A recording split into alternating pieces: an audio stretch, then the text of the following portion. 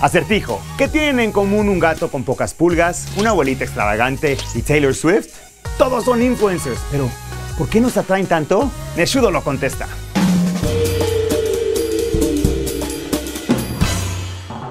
Nosotros, orgullosos millennials, ya no nos creemos mucho lo que vemos por ahí, especialmente desde que podemos pasar de los comerciales en nuestras redes sociales. ¿O es que acaso recuerdan la última vez que levantaron el teléfono de la mesa de noche y pidieron la última y revolucionaria máquina de abdominales luego de que un tipo les gritara desde el televisor? ¡Llame ya! Por eso es que los influencers y el mercadeo a través de ellos están aquí para quedarse. Pero aún así, me asombra saber de este cachorro que a los 6 meses de vida ya tenía 300 mil seguidores en Instagram. Incluso existe una agencia para perros estrella de Instagram. De hecho, Lonnie Edwards, su fundadora, aconseja que si quieres hacer de tu mascota un influencer que llame la atención de las marcas, solo debes humanizarlo o darle un poco de personalidad y un nicho específico. Pero volviendo al tema, solo basta que alguien a que le tengamos confianza recomiende algo para que lo tomemos como una opinión genuina. ¿No me creen? En enero de 2015, Rihanna posteó en Twitter una foto usando unos audífonos de 9 mil dólares. Acto seguido, los fabricantes vieron agotar su producto en menos de 24 horas. Pero, ¿Cuál es el misterio? ¿Por qué nos atraen? ¿Por qué son tan efectivos? La agencia de influencers PMYB en Londres nos detalla algunos puntos clave. 1. Ellos lo llaman el tiempo de exposición. Suena obvio, pero mientras más tiempo pasamos con alguien, más influyentes se vuelven nuestras vidas. 2.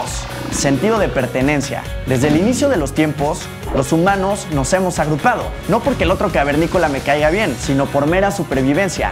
Está en nuestro ADN. 3. La teoría del halo de luz, según la cual tenemos una tendencia a formarnos ideas de las otras personas basadas en un solo aspecto de su vida. Es por eso que ustedes buscan noticias de tecnología en mi canal y no recetas de cupcakes. 4. La ilusión de la mayoría. Y es que los influencers pueden crear una sensación de que algo es popular, lo que puede llevar a que lo sea.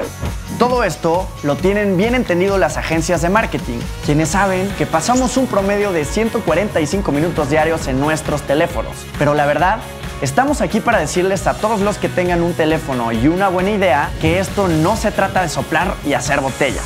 Por eso, les vamos a enumerar 5 pasos para los que quieran sumarse a esta ola de influencers del siglo XXI.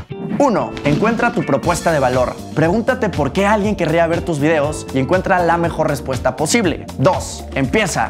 No necesitas ser perfecto para despegar, necesitas despegar para ser genial. 3. Consistencia. La práctica hace al maestro. Es una ley de vida. 4. Prepárate para los haters. Ya Woody Allen lo dijo. La fórmula más sencilla para el fracaso es tratar de complacer a todos. 5. Si pensabas que necesitas un estudio de Hollywood para crear contenido interesante, está cerrado. En Internet conseguirás muchos tips para ahorrar dinero y tener un look de primer nivel. Detalles tan sencillos como acercarse a una ventana pueden ayudarte a tener una buena iluminación. Basta con que tengas un teléfono con buena calidad de imagen y sonido y estarás listo para ganar seguidores.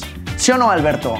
¿Qué onda, Neshudo? ¿Cómo estás? Afirmativo. Él en su caso tiene en la mano el nuevo Nokia 8, un teléfono muy interesante, pues graba y transmite en YouTube y Facebook Live desde la cámara frontal y trasera al mismo tiempo. Viene con audio de 360 grados, con filtro de ruidos y tan sólido como sus antecesores.